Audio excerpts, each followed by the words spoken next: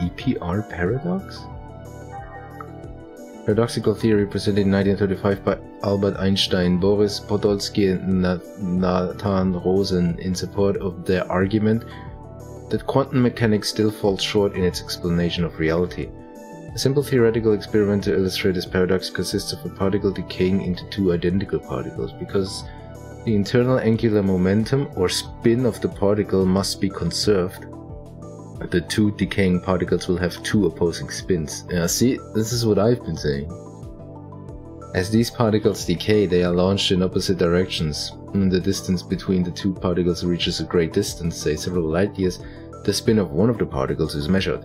At the precise moment of the spin of one particle is determined, the spin of the other can be determined to be in the opposite direction because the two spins must equal zero.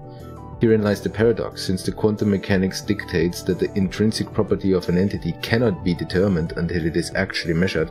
By determining the spin of the second particle several light years away without measuring it, the experiment would, introduce the existence of some strange force that can transmit the information of the first particle's spin to the second particle faster than the speed of light. A force that cannot be explained by quantum mechanics.